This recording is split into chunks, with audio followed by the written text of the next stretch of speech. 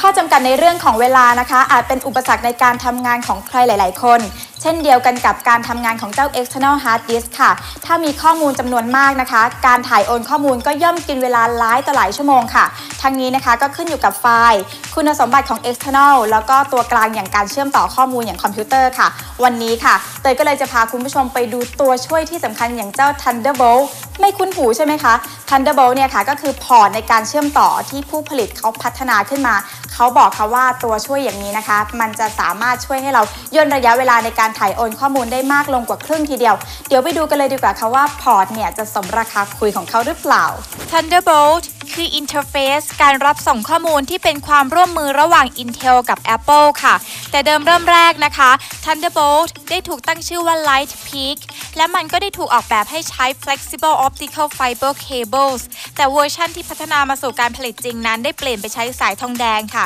เพราะว่าสายทองแดงมีราคาถูกกว่า และก็เหมาะสมในการผลิตจริงมากกว่า จึงได้เปลี่ยนชื่อจาก Light Peak มาเป็น Thunderbolt ค่ะ ดังนั้นหากคุณผู้ชมได้ยินใครเรียกว่า Light Peak แล้วก็ก็เป็นอันเข้าใจได้เลยนะคะว่ามันคือสิ่งเดียวกันค่ะ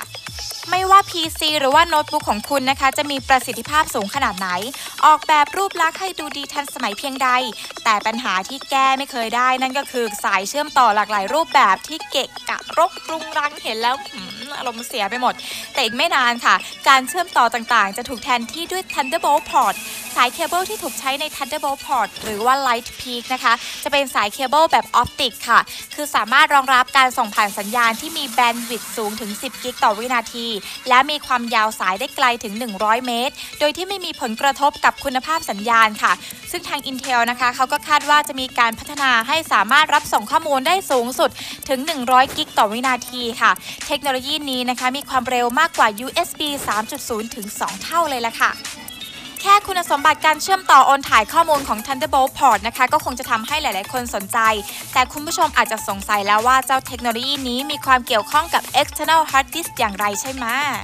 และเมื่อไม่นานมานี้นะคะเขาก็ได้มีการถแถลงข่าวเปิดตัว external hard disk ตัวแรกค่ะที่รองรับพอร์ตเชื่อมต่อ Thunderbolt โดยใช้ชื่อเรียกว่า Little Big Disk โดย external hard disk ดังกล่าวนะคะ เกิดจาก Intel 510 Series SSDs หรือที่เรียกกันว่า Solid State Disk ค่ะ 2ออย่างนี้นะคะ รวมกันขึ้นมาแน่นอนเลยค่ะว่า ความเร็วสะใจอย่างแน่นอน และยังได้บรรยายสรรพคุณไว้อีกนะคะว่า สามารถถ่ายโอนข้อมูลได้ด้วยความเร็ว 10 กิกได้อย่างสบายๆ พร้อมที่จะ backup เครื่องของคุณได้ภายในไม่กี่นาที และยังสามารถรองรับการเล่นข้อมูล High Definition ที่ลื่นไหลแบบที่ไม่เคยสัมผัสที่ไหนมาก่อน แน่นอนค่ะ เพราะด้วยอัตราการโอนถ่ายข้อมูลที่สูงกว่าพอร์ตต่างๆ หลายเท่าตัวนะคะ ไม่ว่าจะเป็น USB 3.0 หรืรือ SATA 3 ที่มาแรงในขณะนี้นะคะ แต่อย่างไรก็ตามค่ะราคาเนี่ยก็คงจะไม่ใช่ถูกๆเหมือนกันนะคะ